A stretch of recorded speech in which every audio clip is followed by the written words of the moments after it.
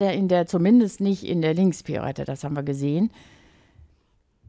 Das ist immer schwierig, wenn die so einen riesen Schritt, ja, da ist er noch nicht richtig zentriert, auch nicht in der Rechtspirouette. Wenn die diesen riesen Schritt haben, wie er, dann ist das natürlich auch echt eine Aufgabe, einerseits diesen riesen Schritt zu erhalten, andererseits muss man aber natürlich dann auch irgendwann mal in die Versammlung mit dem Schritt.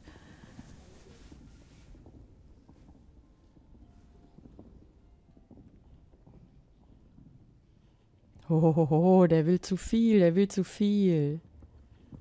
Das ist einem ja lieber, als dass sie nicht wollen, aber der will so viel Last aufnehmen, dass er sich fast so ein bisschen in sich verkrochen, in sich stecken geblieben ist.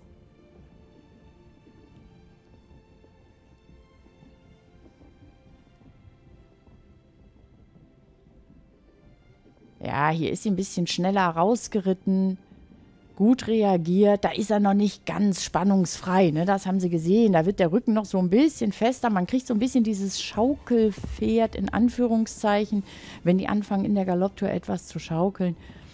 Der hat so viel Versammlungsbereitschaft, glaube ich, dass er das hier einfach noch nicht in letzter Quali äh, Konsequenz umsetzen kann.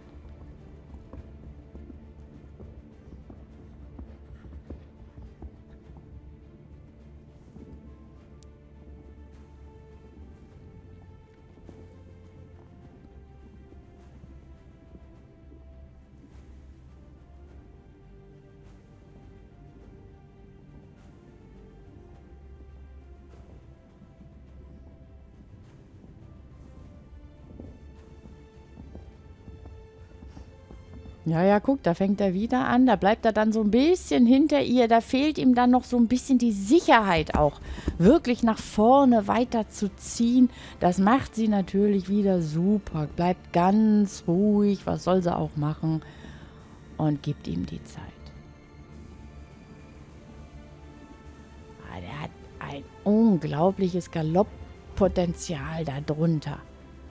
Aber die mit den ganz großen Bewegungen, das sind dann auch oft die, die ein bisschen länger brauchen.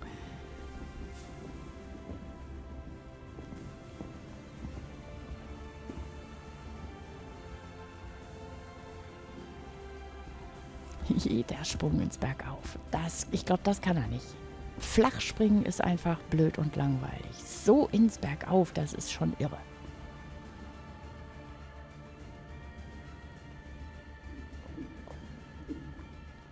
Oh,